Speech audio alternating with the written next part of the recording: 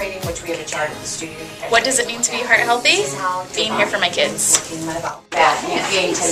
Being heart healthy to me means to break the cycle of heart disease in my family. Both my parents have heart disease, grandparents.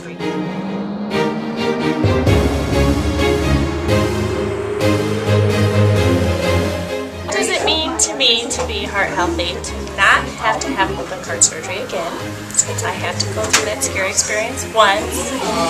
Uh, to be able to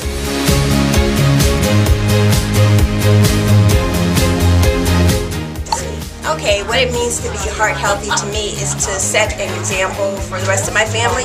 I have a twin and we're both overweight and I think she's going to be doing these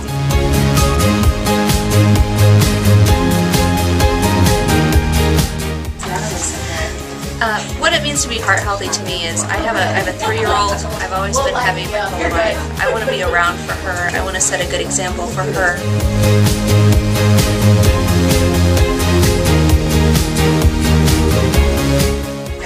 So what does it mean to me to be heart healthy? It means to set a good example for my daughter.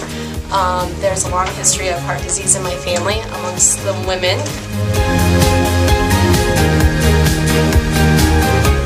up here. Okay, um, what it means to be heart healthy to me is getting up the stairs without having to stop halfway through. Um, teaching my family that deep frying.